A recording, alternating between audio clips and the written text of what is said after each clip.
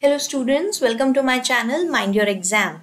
In this video, we will be learning about the constraints in developing any management information system. So we will understand what factors can hamper the development or deployment of any MIS in an organization. So the first factor or constraint that becomes a hindrance in developing an MIS is the resistance from the management itself.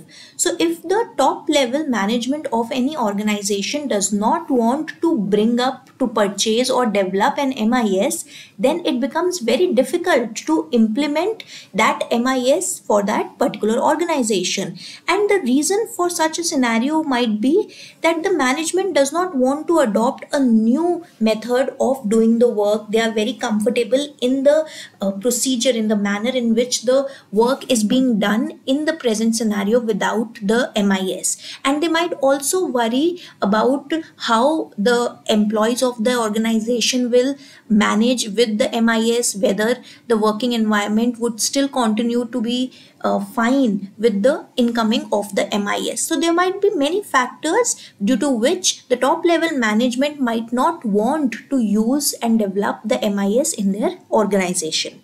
So the second constraint is the non-cooperation from the staff. So if we have a scenario when the management actually wants to bring up an MIS and utilize in their company, the staff might not cooperate with the management because it is the responsibility of the staff to use that MIS and adjust themselves to learn the new skills to use that MIS effectively.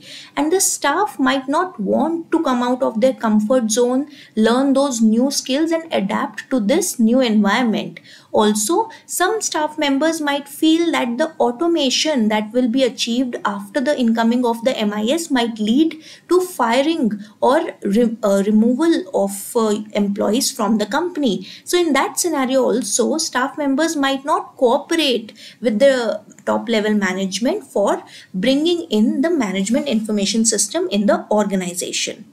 The third constraint can be the non-availability of experts for developing the MIS. So whenever an MIS has to be developed for the first time or purchased for the first time in any organization, we need experts in that particular area who can guide the management, who can train the employees to utilize the MIS, to develop the MIS in the correct way as per the needs of that organization. But in case the management and the staff both want to use the MIS and develop them, develop it, but experts are not available, then in that scenario also, this reason becomes a hindrance in the development or utilization of the MIS.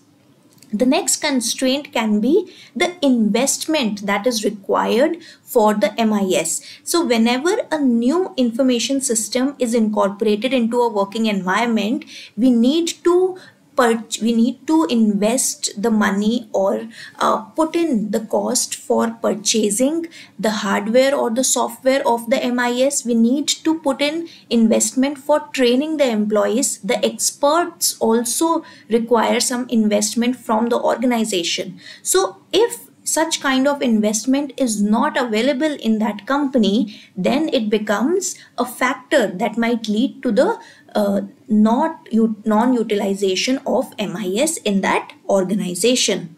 The next factor that limits the usage or development of an MIS is the large development time that might be required to customize an MIS for a particular enterprise. So if the management decides that they want to purchase or develop an MIS but they have very tight project deadlines and timelines in their hand, they might defer the development of the MIS because at present they cannot devote their manpower and the working hours that the employees have to utilize in other projects. So since a customized MIS for a particular scenario requires time from the management and the employees equally so this factor sometimes may lead to the uh, delaying of acceptance of an MIS into an organization.